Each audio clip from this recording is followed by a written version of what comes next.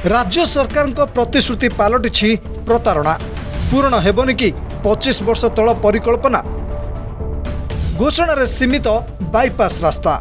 ଖାଲି ସର୍ଭେ ଚାଲିଛି କେବେ ଆରମ୍ଭ ହେବ କାମ? ଟ୍ରାଫିକ୍ ସମସ୍ୟାରେ ଜୁଝି ହେଉଛନ୍ତି ସହରବାସୀ।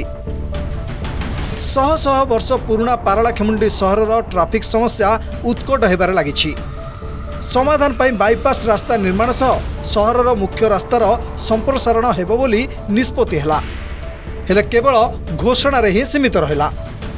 ରାଜସ୍ୱ ବିଭାଗ କର୍ମଚାରୀ ବାଇପାସ୍ ରାସ୍ତା ପାଇଁ ସର୍ଭେ କାମ ଆରମ୍ଭ କରିଦେଇଛନ୍ତି।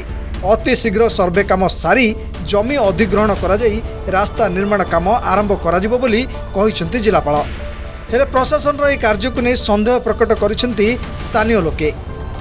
ଗୋଟିଏ ପଟେ ବାଇପାସ୍ ରାସ୍ତା ହୋଇପାରୁନି କି ଅନ୍ୟପଟେ ଜମି ଅଧିଗ୍ରହଣ ପରେ ବି ସହରର ମୁଖ୍ୟ ରାସ୍ତା ସମ୍ପ୍ରସାରଣ ହୋଇପାରୁନାହିଁ। ଫଳରେ ସହରରେ ଟ୍ରାଫିକ୍ ସମସ୍ୟା ବୃଦ୍ଧି ପାଇବାରେ ଲାଗିଛି। ହେଲେ ପ୍ରଶାସନ ଚେତୁନି।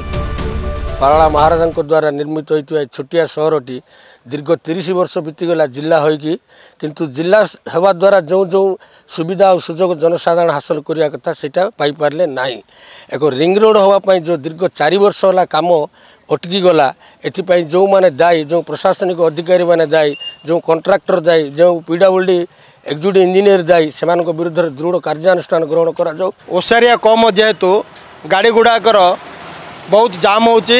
ଏହା ଦେହରେ ଦୁର୍ଘଟଣାର ଶିକାର ମଧ୍ୟ ହେଉଛନ୍ତି। ମାସକୁ ଦୁଇ ତିନିଟା ଦୁର୍ଘଟଣା ମଧ୍ୟ ହେଉଛି। ଯେହେତୁ ମୁଁ ପ୍ରଶାସନକୁ ଓ ସରକାରଙ୍କୁ ମୁଁ ଅନୁରୋଧ କରୁଛି ଏ ଅଣଓସାରି ରାସ୍ତାଟା ଏ ଚାରି ବର୍ଷରେ ଯେଉଁ ମାପଚୁପ କରିଛନ୍ତି ମୁଁ ଭାବୁଛି ଆର ଫାଇଲ୍ ପତ୍ର କ'ଣ ଉଇ ଖାଇ ଦେଇଥିବ ବୋଧେ ତାଙ୍କେ କରିପାରୁନାହାନ୍ତି। ପ୍ରତିବର୍ଷ ସର୍ଭେ ଏବଂ ରାସ୍ତା ମରାମତି ନାଁରେ କୋଟି କୋଟି ଟଙ୍କା ଖର୍ଚ୍ଚ ହେଉଛି।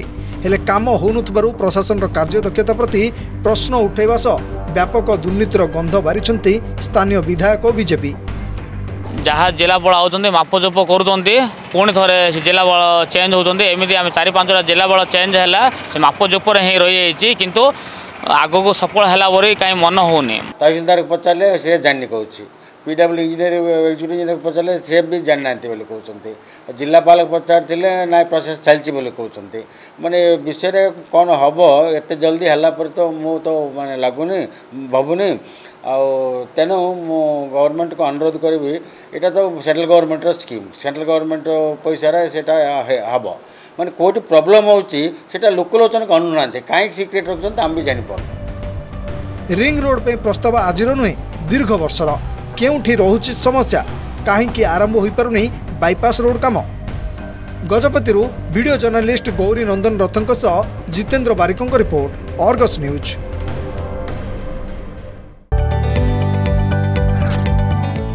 जदि आपण को आम भिडी भल लगा तेब आम चैनल को लाइक शेयर और सब्सक्राइब करने को जमा भी भूलु नहीं